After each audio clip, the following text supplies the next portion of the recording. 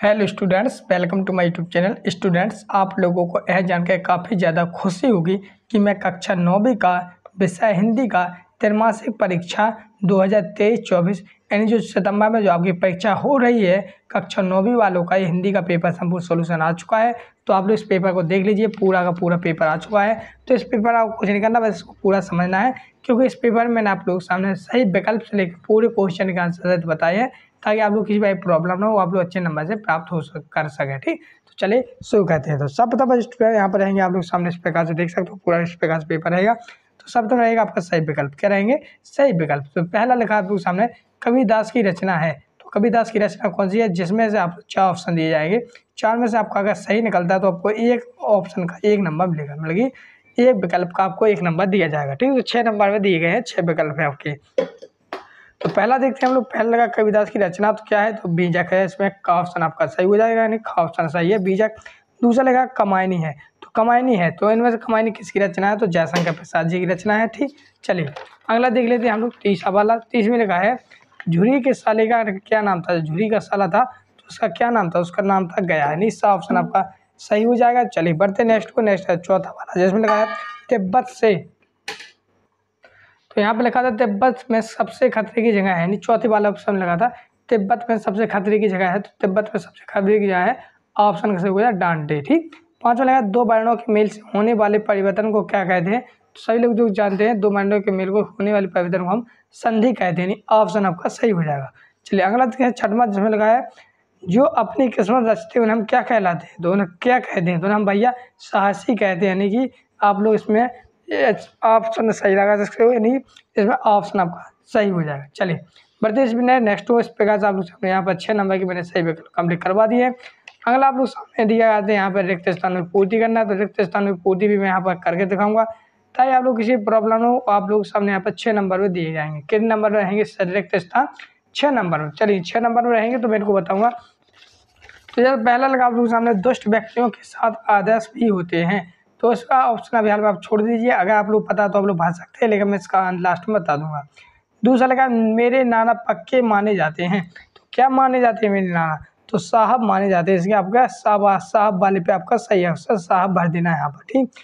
Class इस paper और paper के सॉल्यूशन का पीडीएफ हमें मिल जाता है। एमपी बोर्ड में तो कोई भी नहीं देता। है कैसे नहीं देता है भाई? मैं दे रहा हूँ। चलिए मैं आपको बता देता हूँ कैसे आप इस पेपर का संपूर्ण पीडीएफ और पेपर के सॉल्यूशन का पीडीएफ डाउनलोड कर सकते हैं अपने मोबाइल में, ठीक है? तो मोबाइल में क्रोम को ओपन करके यहाँ पे गूगल ओपन कर लेना। गूगल ओपन करने के बाद ध्यान से देखना, यहाँ पे स्टडी नोट्स पीडीएफ को लिखना होगा, ठीक है? चीज़ें लिखकर आप सर्च कर देना। फ़र्स्ट आपको वेबसाइट दिखेगी स्टडी नोट्स पीडीएफ डॉट इस पर आपको क्लिक कर देना। जैसे आप इस पे क्लिक करेंगे, सबसे पहले आपको दिखेगा यहाँ पे, देखिए, हरे कलर से जो रहेगा एमपी बोर्ड ठीक है? तो एमपी बोर्ड पे हमें क्लिक कर देना क्योंकि हमारा एमपी बोर्ड है। अब देखिए, मध्य प्रदेश बोर्ड त्रैमासिक परीक्षा 2024 तो 2024 के सभी पेपर और सभी पेपर का सॉल्यूशन मैंने यहाँ पे डाल दिया है। अब ऐसा नहीं करूँगा मैं आपको सॉल्यूशन डाउनलोड करके ना दिखाऊँ, लेकिन किसी एक क्लास का और एक सब्जेक्ट का दिखा सकता हूँ ना, क्योंकि वीडियो थोड़ी ना मुझे दो दिन की बनानी है। तो देखिए, कक्षा नौवीं का जो है आपका यहाँ पे विषय है आपका हिंदी, ठीक है? तो कक्षा नौवीं विषय हिंदी का दिखा दे रहा हूँ। इसी प्रकार से आप अंग्रेज़ी, संस्कृत या कक्षा ग्यारहवीं, बारहवीं, दसवीं सभी का डाउनलोड कर लेना, ठीक है? तो यहाँ पे जैसा कि मैंने देखिएगा कक्षा नौवीं हिंदी, यहाँ पे सेट भी मैं क्लिक कर देता हूँ, ठीक है? Hindi set A set B set C सभी आपको मिल जाएगा, ठीक है? तो यहाँ से आप रीड कर लेना, जो कि महत्वपूर्ण बात यहाँ पे दी गई है। यहाँ से आप पेपर देख सकते हैं, देखिए, पूरा पेपर डला ठीक है? तो यहाँ से पूरा पेपर देख लेना और नीचे आना, यहाँ पे देखिए सॉल्यूशन का यहाँ पे बटन डला हुआ है, ठीक है? जैसे आप इस बटन पे दबाएँगे तो सॉल्यूशन की पीडीएफ यहाँ से डाउनलोड हो जाएगी, ठीक है? अब मैं आपको सॉल्यूशन की पीडीएफ को डाउनलोड करके दिखा रहा हूँ, ताकि आपको बिल्कुल भी यहाँ पे कंफ्यूजन ना हो। तो छात्रों, यहाँ पे देखिए, ये डायरेक्टली हमें ले जाएगा सॉल्यूशन का यहाँ पे देखिए पीडीएफ डाउनलोड हो जाएगा तीसरा बेशब्दान जो शब्द बनाते समय आराम में लगते हैं, उन्हें क्या लाते हैं?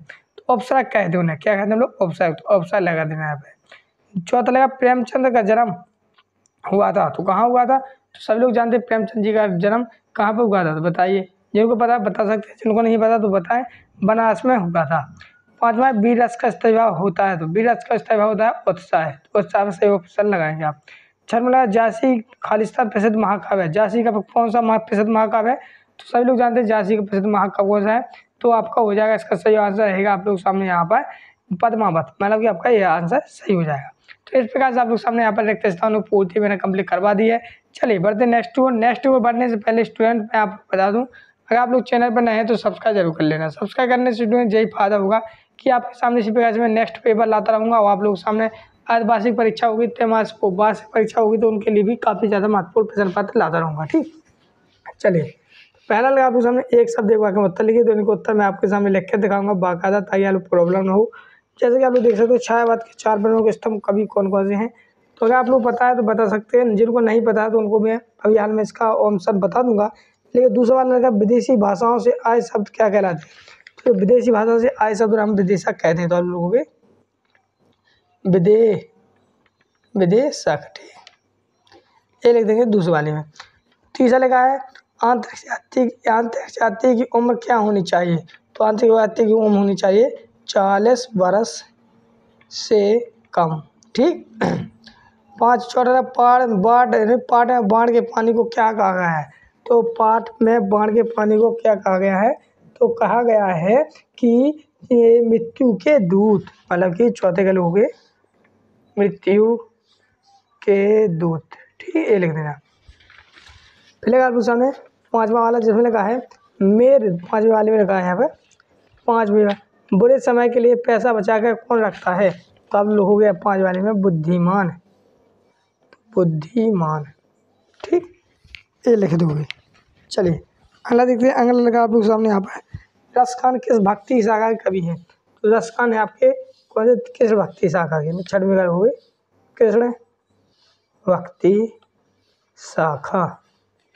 फिर आपको सही जोड़ियाँ मिलाइए। चलिए, हम सही जोड़ियाँ मिलाएँगे।